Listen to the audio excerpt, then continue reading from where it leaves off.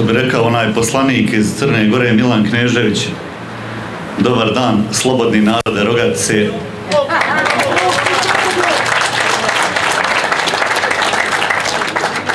Želim sve da vas srdačno pozdravim, da kažem da, mi je zadovoljstvo zaista danas što sam ovdje sa vama i da evo na neki način izrazim zahvalnost vama koji ste imali snage i sposobnosti da dođete danas i pored svih pritisaka koji postoje u ovom gradu.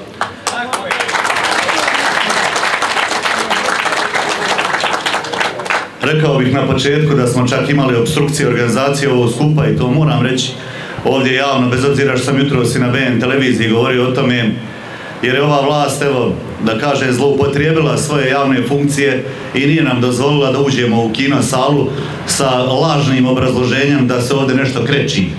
Ja ne vidim da se bilo šta kreći, a čuo sam da je to često izgovor da se kreći ova sala kad treba nekome da se zabrani da se uđe. Mislim da je taj neki direktor Slaviša pokazao izuzetno lošu stranu svoje ličnosti i kritikovao bi ga i nadam se da ćete ga i vi kritikovati god stignete jer je pokazao jednu zaista nekorektnost. Kino sala nije objekat SNSD-a, kino sala je objekat svih građana Rogatice i mi imamo pravo da koristimo sve javne objekte gdje želimo da razgovaramo sa stanovništvom ovog kraja ovdje. S druge strane, s druge strane bih želio i da kritikujem i ovu drugu aktivnost koju su proveli gdje su probali na jedan vrlo pokvaren način da, evo da kažem tako, namame mlađe stanovništvo na neke besplatne sladolede, kolače, krofne i ostale stvari. Zamislite u isto vrijeme u 4 sata kad smo mi danas ovdje kako bi eto smanjili možda broj ljudi koji bi došao ovdje da čuje nas šta ima da kažemo narod Rogatice. Sve to govorim kao uvod da bi objasnio kako je politici riječ. I došla je došla politika SNSD-a u cijeloj Republici Srpskoj, evo i ovdje kad je u pitanju načelnik opštine i ova vlast SNSD-a.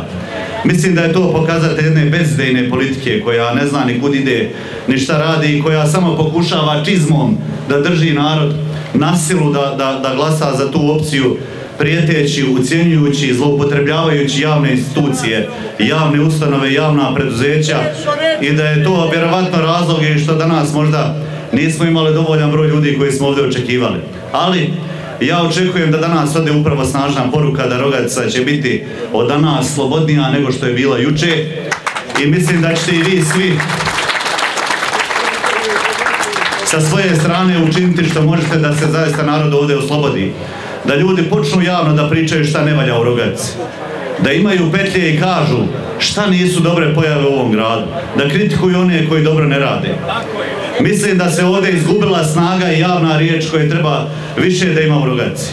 Ja vas zamolio vi koji ste ovdje da utičete i na sve druge da pokušamo zaista osloboditi ovaj grad i da pokušamo da pričamo o problemima. Ja znam ovdje da je zaista e, veliki pritisak na ljude, da se ovdje gleda čak i na Facebooku ko je šta lajkovo, ko je gdje došao i da će se slike analizirati ko je danas ovdje bio prisutan. Ali nema problema, evo meni su rekli kad sam došao da neko nešto snima, slika, ko koga čeka, ko će doći ovdje i tako dalje. Ja mogu samo poručiti da ćemo mi ovdje dolaziti i dalje i da će nas biti sve više i više. I to je glavna poruka sa ovog skupa ovdje. Rekao bih još jednu stvar. Danas je PDP uradio veliku stvar kad je u pitanju naš opštinski odbor. Mi smo danas izvukli stranku u Rogatici iz Kanđi SNSD-a. Mi smo danas izabrali novo rukovodstvo PDP-a i novog predsjednika i PDP neće biti više nikad sa SNSD-om u Rogatici. PDP će voditi opozicijnu politiku u Rogaci i očekujem da svi pomognete i Bakmazu i Rajaku i svim drugim ljudima koji su imali petlje da kažu mi nemo, nećemo biti u vlasti nego ćemo voditi opozicijnu politiku, mnogo zdraviju politiku i kritikovat ćemo sve što ne valja u ovom gradu. Njima će trebati pomoći i ja očekujem od vas zaista da im pomognete u tom poslu koji nije lak u ovako, u ovako malom, malom mjestu. Ja vam se zahvaljujem svima na pažnji i želim da se vidimo još puno puta do naredne godine, očekujući da te 2022. godine zaista promijenimo vlast. Viška je da, da ja dodatno pričam o velikim temama oko kojih su govorili Draško i Jelena i nadajući se da će i predsjednik Morenović o tome govoriti, ali shvatite i razumite da zaista ova garnitura ljudi želi istinske promjene i sistemske promjene. Nije nama cilj da jedni odu, dođu drugi i da sve ostane isto. Mi smo dobili poruku naroda da je potrebno da se sve promijeni i da se sistem skorije mijenja. Vjerujte ovim ljudima, vjerujte svima nama da su namjere dobre, nadajući se da ćemo imati dovoljnu podršku da 22. godine mijenjamo stanje u cijeloj Republici Srpskoj, ali i ovdje posebno u Rogaci. Hvala vam lijepa i živjeli. Igor, Igor, Cornelio. Vamos, Igor.